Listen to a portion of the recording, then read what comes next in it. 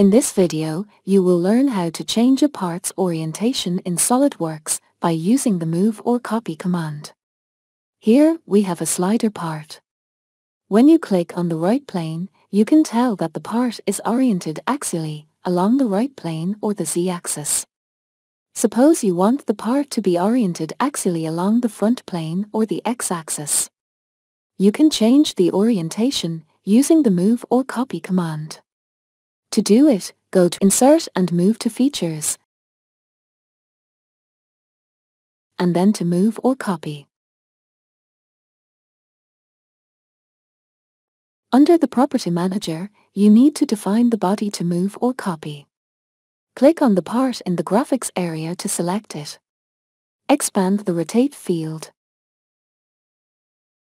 To orient the part axially along the z-axis, we need to rotate it about the y-axis.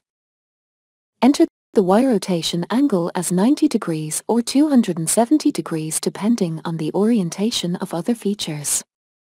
For our case, it matters not whether we choose 90 or 270 degrees. Let's enter 90. In the graphics area, the preview is available for you to see.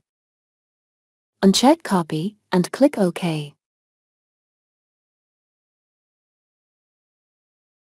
Now, the part orientation has been changed as desired.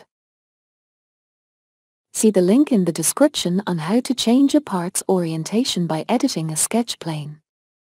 To get more SOLIDWORKS tutorials, tips and tricks, please subscribe.